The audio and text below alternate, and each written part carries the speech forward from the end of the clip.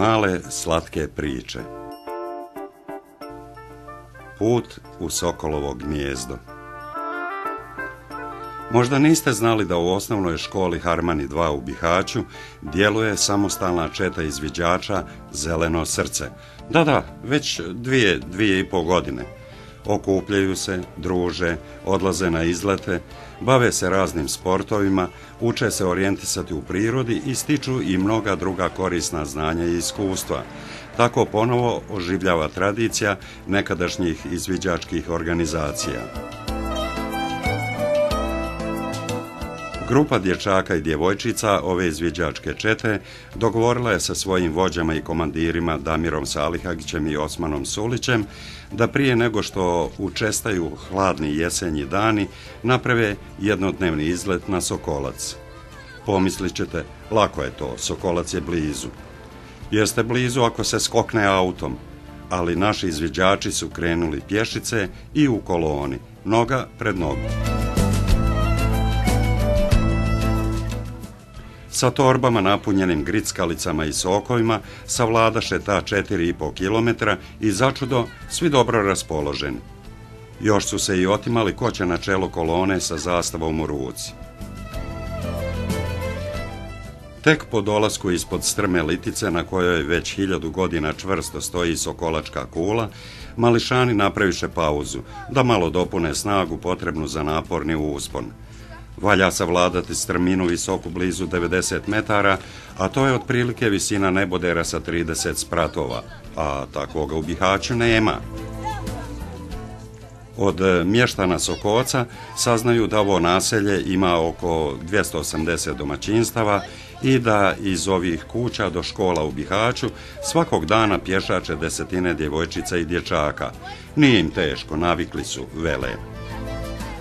Izviđački izleti su lijepa prilika da se u društvu obiđe uži i širi zavičaj i da se na licu mjesta upozna naša bogata povijesna i kulturna baština, a ujedno se razvija drugarstvo i prijateljstvo i sazna se mnogo toga novoga. Eto, prolazeći pored izvora Privilice, djeca su prvi put vidjela mjesto sa kojeg stiže pitka voda u bihačke domove, a saznala su i da su se tu prije mnogo godina održavala tradicionalna prvomajska druženja i proslave.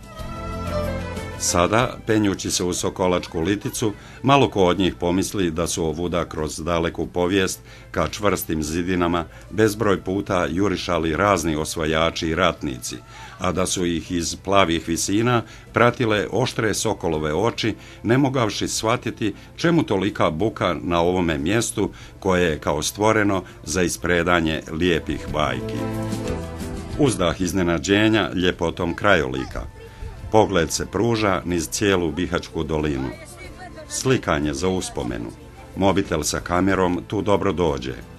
Ozarena lica šaraju pogledom ispod, po naselju Sokolac, a potom od Ripča do tamo u daljini pokoja. Sunce je na koji sat ugrijalo, pa smo uhvatili hladovinu.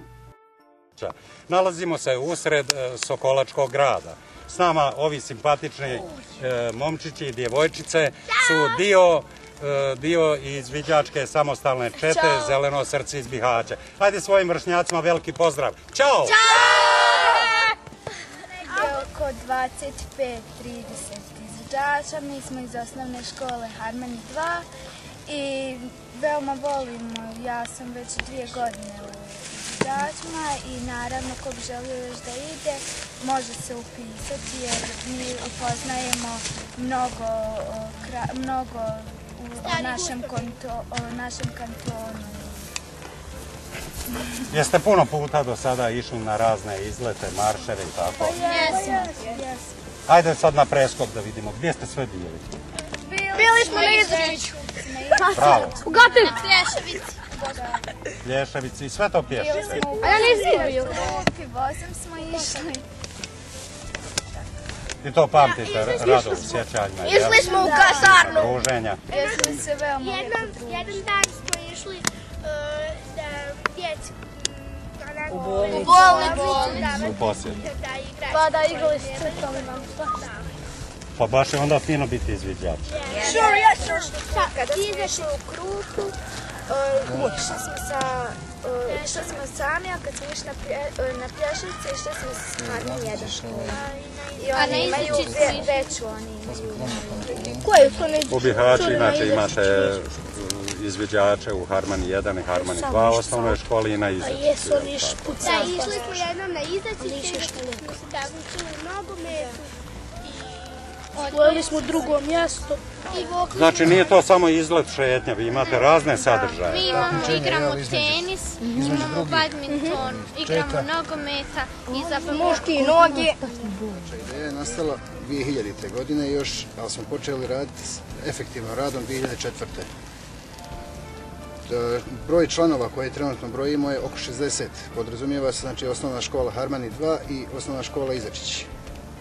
Trenutno smo u ovoj godini, odnosno u prošloj, radilo na razno raznim obilježavanjima, znači ovih manifestacija, godišnjica, imamo sportska druženja sa drugim članovima, odnosno drugim klubovima. Radili smo znači na takmičarskom dijelu da se djeca i zabave i da uživaju u ovome što članstvu kao izviđači. Eto, čuli smo, povremeno organizujete razne izlete na našem području, bližem, kanite li negdje dalje ići do mora, do planina. E, dogovore imamo, znači i suradnju sa Republikom Hrvatskom, Republikom Slovenijom, čak i smo sad u pregovorima sa Republikom Makedonijom. Kontakte vršimo i sa skautima iz e, ove, Kanade, preko Eufora naravno, i oni su nam izašli u u susret sa razno raznim e, sredstvima koji su nam pomogli kao što su šatori i šta ja znam. Draga djeco, ako i vi želite postati izviđači, nazovite starješine ove izviđačke čete telefonom na brojeve 061 418 403 ili 062 175 201. Današnji izlet na Liticu, gdje su nekad sokolovi stanovali, osim trčkaranja po mirisnoj travi i zadivljeni pogleda na prelijepi krajolik Bihačke doline, iskorišten je da se čuju i zanimljive priče. Tako su djeca saznala da je utvrda Sokolac nekada imala ime Sokol, jer je nastala na strmoj litici koju su nadlijetali sokolovi, davno, davno, prije hiljadu godina, da je Sokolačku tvrđavu prije stotinu godina uredio tadašnji okružni načelnik Lothar von Bergs, a turisti tog vremena morali su kupovati ulaznicu ako su htjeli uživati u posmatranju doline Une sa Sokolačkog grada. A u podnožju Sokoca bili su nepregledni vinogradi. Vama je vjerovatno puno zanimljivija ona druga bajka o caru i tri čerke. Naime, kao u svakoj priči, tako i u ovoj, tata imao tri čerke, biku, soku i vranu. I šta će jadan? Mora im nešto ostaviti. On svakoj izgradi po jedan grad. Soki Sokolac, biki Bihać, a vrani Vranograć.